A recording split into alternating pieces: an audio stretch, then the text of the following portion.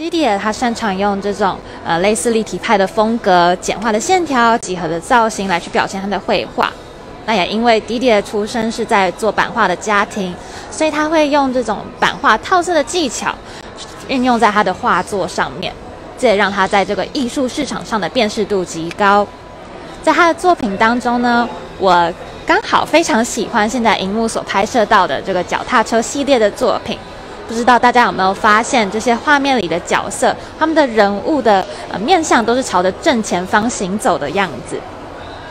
但是总会有那么一个人在画面里面，他的面是朝着我们观众的方向的，想必呢就是主角了吧？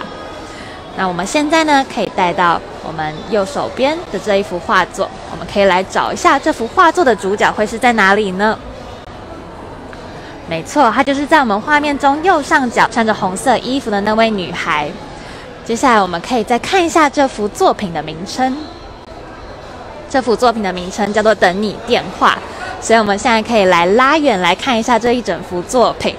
是不是可以想象说，这个女孩刚刚在路上走路的时候，被一个呃一个帅气的男生搭讪了，然后女生心里面就在想着，哦，那我就等你电话喽。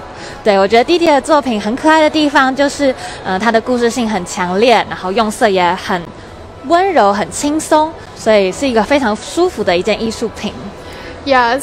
So our next artist we have here is Spanish artist Didier Lorenzo. So Didier started his career in his father's lithography workshop where he shared his time between painting and printing lithographs. And since then he has taken great strides.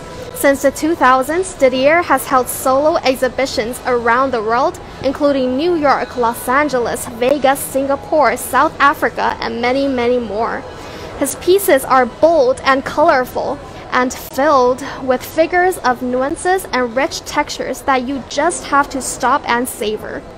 He has exhibited at some of the most prestigious exhibitions, so don't miss out. And like Kaya just said, if you see from that painting, you'll see that um, some of his, most of his figures are facing um, frontward, walking in front, but there's always that one character that will look at you.